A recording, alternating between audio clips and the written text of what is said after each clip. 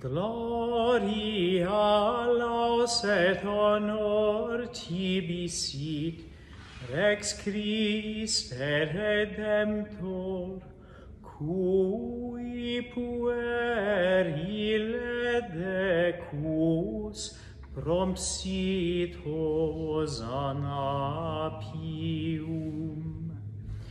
Israel est tu Rex, Davidis et inclinta proles, nomine quin domini, rex benedicte venis. Gloria laus et honor tibi sit, rex Christe redemptor, cui puerile decus propsitos anapium. Cetus in excelsis,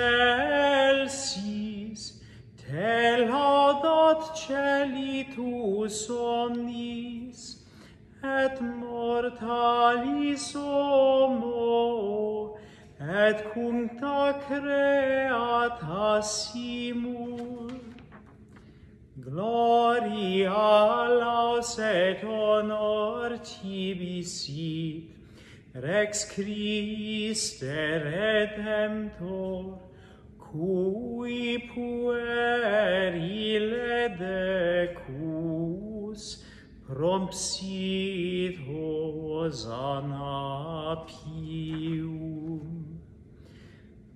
plebs Hebraea